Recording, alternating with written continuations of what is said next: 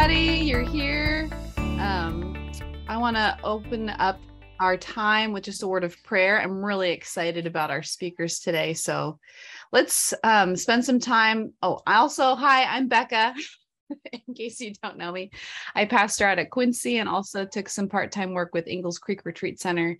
But I get to serve as your co moderator for our presbytery. And I'm really excited. Um, the team we worked with for our Verge this year are pretty excited about the speakers we have and the spaces we have set. And so I'm going to open us with just an opening word of prayer and then I'll turn it over to Jean.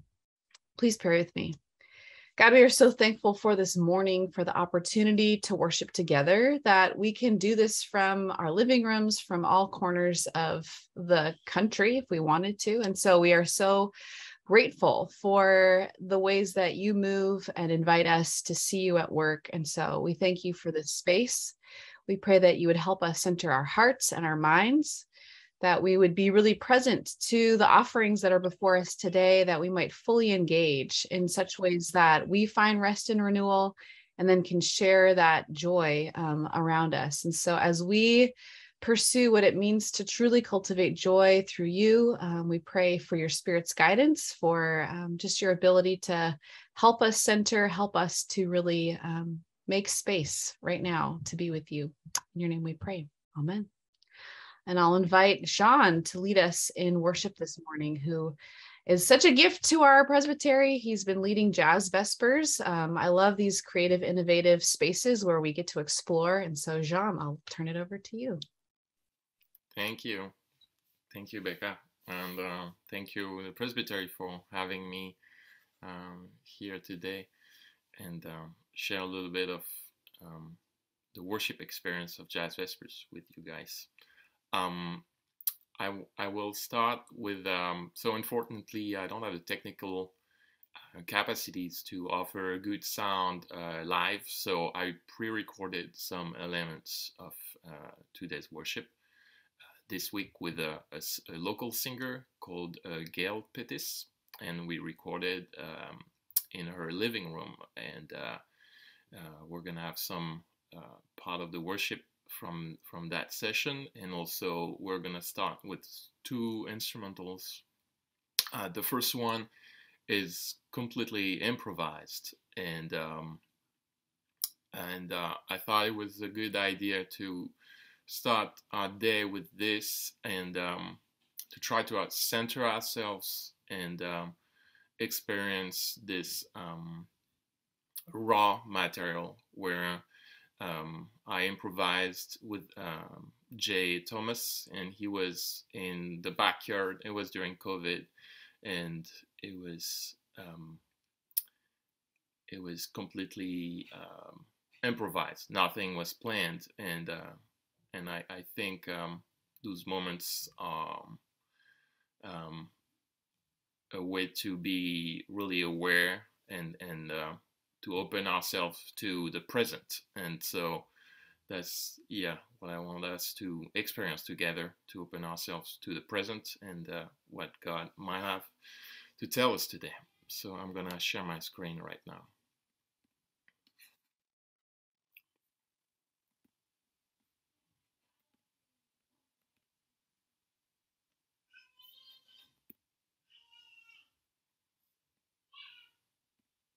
Mm-hmm.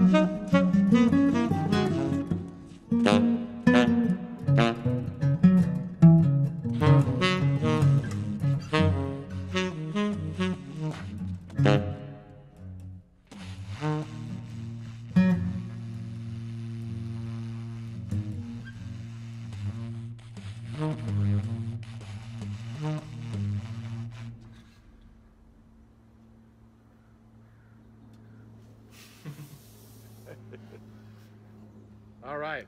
Kind of getting cold. Yeah, oh, yeah. Sorry. A little bit, but let me let me free you. Um. So. So. Uh, the um, the next um piece I'm I'm gonna play for us this morning is uh, another instrumental piece, and then we'll have two um, vocal pieces. Um, the next one is an arrangement that I wrote on How Great Thou Art.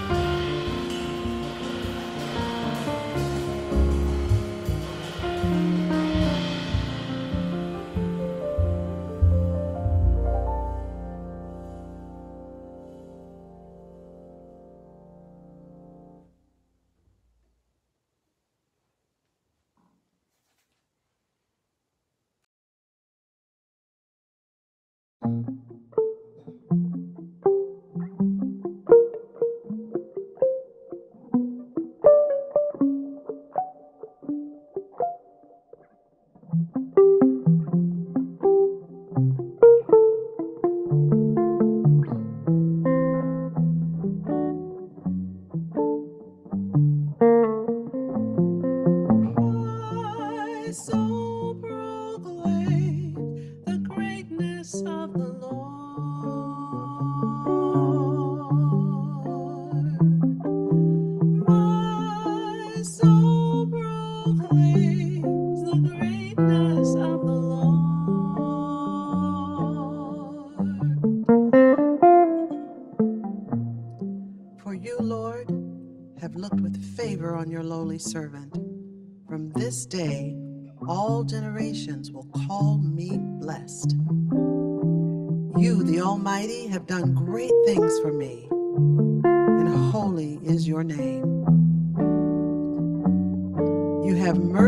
those who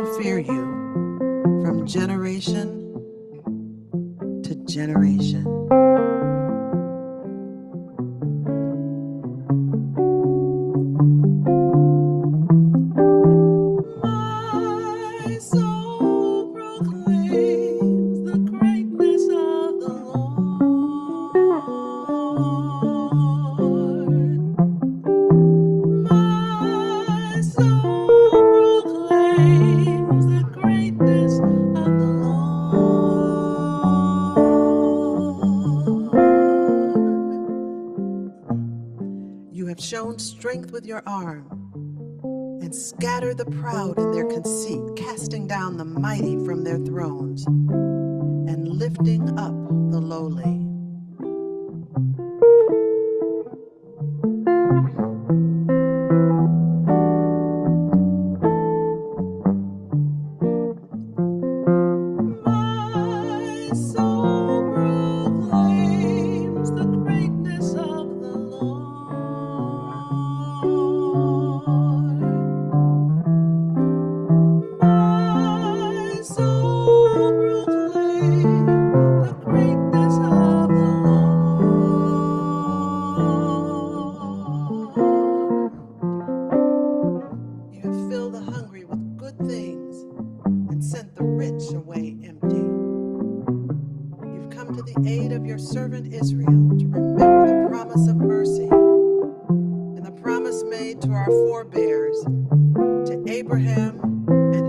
children.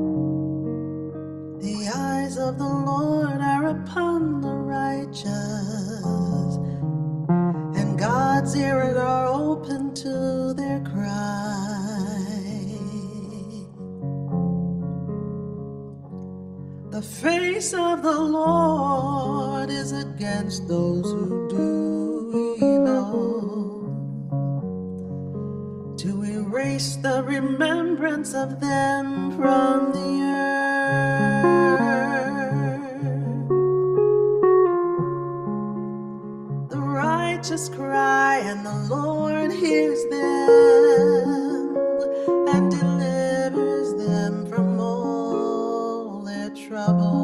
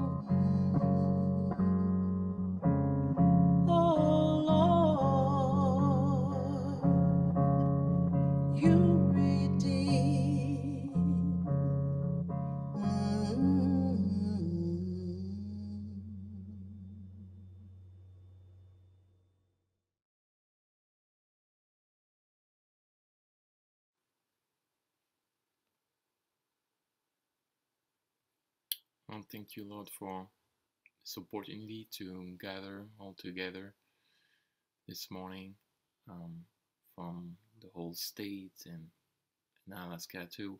And uh, I pray that you open our hearts, our ears to hear you speak uh, the word through Bo and uh, and Randy later. And um, we're thankful that you gathered us and that you um, redeemed us as we try to serve you.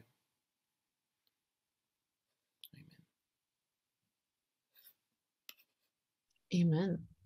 I think I speak for everyone when I'm like, more, more. um, I did also talk to Andrea the other day, so I feel like I have on relatively good authority that if you are interested in more with Jazz Vespers, they might be able to travel. is that is that a true statement, Jean? I don't know.